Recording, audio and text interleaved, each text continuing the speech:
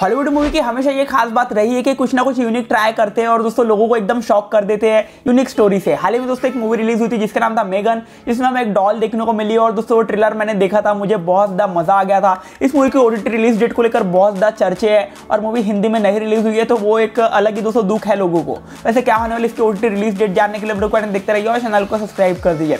दोस्तों इस मूवी की जो स्टोरी है वो माइंड ब्लोइंग है ही, लेकिन दोस्तों इसकी जो कैरेक्टर की एक्टिंग है, वो तो और भी ज़्यादा ज़बरदस्त है। बात करें इसके ओटीटी रिलीज़ डेट को लेकर मूवी को दोस्तों जनवरी के फ़र्स्ट वीक में लगभग छह जनवरी के आसपास रिलीज़ किया जा चुका था।